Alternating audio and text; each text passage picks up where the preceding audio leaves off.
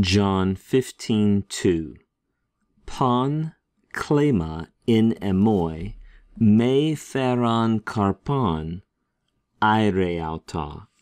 Kai pon ta karpon feron kathaire auta. Hina karpon pleona fere here Jesus says every branch in me not bearing fruit he takes it away, right? There's the it, and this is to take away. In other words, he cuts it off. And the implied subject here is the Father. Every branch in the Lord Jesus which does not bear fruit, the Father cuts off, the Father cuts away.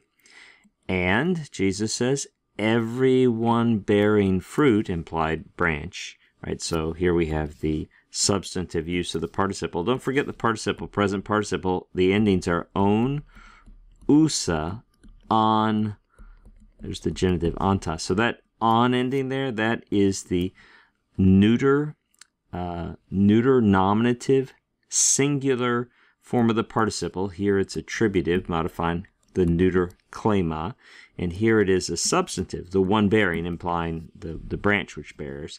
And there's the direct object there in the middle right? It's a it's a participial sandwich with the bread here, the bread here, and then we stick the direct object in the middle.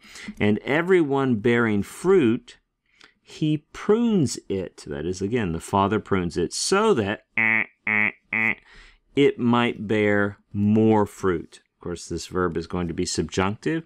See that lengthened vowel there at the end? This is just a present active subjunctive, third person singular so that it, that is, so that the branch bears more fruit. I just want you to note, and this is noted in some commentaries, the word play here, right? To ire and to kathire, right? To, as one person has suggested, to cut off or to cut clean, to prune. The second word, this is a hapax, a hapax, a one-time occurrence in the Greek New Testament. This is the only place this verb occurs in the Greek New Testament. Kathairo, to prune. It can mean in some other contexts outside the Greek New Testament, it can also mean cleanse or to clean, but it is used in relation to plants in the sense of pruning them.